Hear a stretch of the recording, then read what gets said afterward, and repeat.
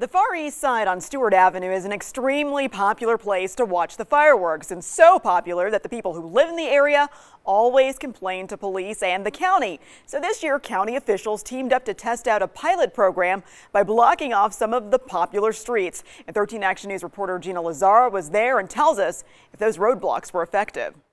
These are the signs right here that say road closed and resident access only. But did they stop people from driving up here and parking to see the show? Not even close. We watched car after car after car disregard the signs and drive on through, turning the end of Stewart into a parking lot. The reason why? The spectacular view of the fireworks. You almost can't blame them. It's one of the best views in the city.